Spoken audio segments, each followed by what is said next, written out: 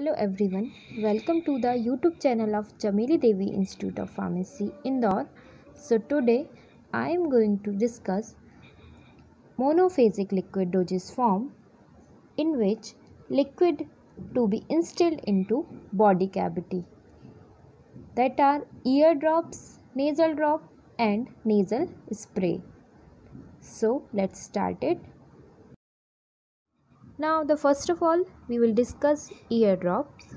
So eardrops are the solution used for instillation into ear or ear cavity. So eardrops are the solution of drops that are instilled into the ear with a dropper.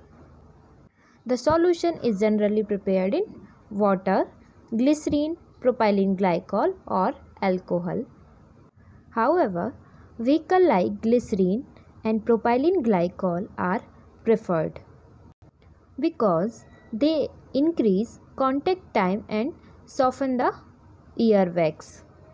So, ear drops are generally used for cleaning the ear or some having antibacterial action. Second is softening the wax. Third is for the treatment of mild infection.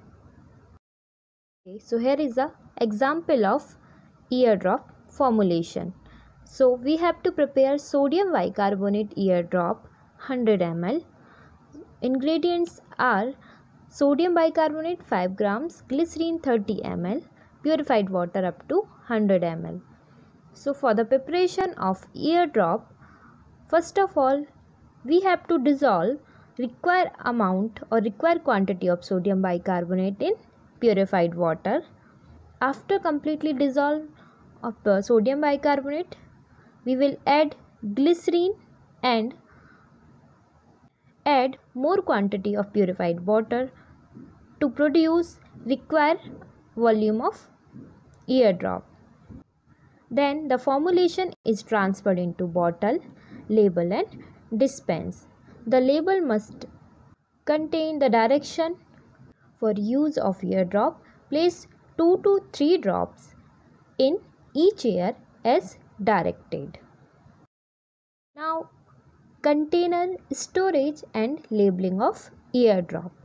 So, containers eardrops are dispensed in colored fluted glass bottles with a dropper in the cap Eardrops are also dispensed in suitable plastic container.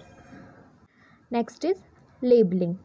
So the label should state for external use only and discontinue the use if irritation persists. Now the storage of eardrops. So eardrops are supplied in well closed container in cool place. Okay so Next monophasic liquid dosage form that is nasal drops instilled into nasal cavity. So nasal drops are the aqueous solution used for instillation into nostril with the help of dropper. So these are the water based solution which is instilled into the nose with the help of dropper. The oily vehicle is not used nowadays because oily drops inhibit the movement of cilia in the nasal mucosa and if the oil vehicle based nasal drops are used for long periods they may reach the lungs and cause lipoid pneumonia. Nasal drops should be isotonic with 0.9% sodium chloride having neutral pH so for maintaining the pH, phosphate buffer of pH 6.5 is used as vehicle because the buffering capacity of nasal mucosa is quite low and strong alkali solution can cause considerable damage to the cilia. So for prevention of this damage, it is advisable to use a phosphate buffer of pH 6.5. Now the use of nasal drops. So nasal drops are used as antibacterial agent or antibacterial action and second use of nasal drop is nasal decongestion. Now the example of nasal drop that is ephedrine nasal drop BPC. So ingredients are ephedrine 0.5 gram, chlorobutanol 0.5 gram, sodium chloride 0.5 gram and water to make up the volume or produce the volume. So for the preparation of ephedrine nasal drops, first of all dissolve the ephedrine hydrochloride, chlorobutanol and sodium chloride in warm water.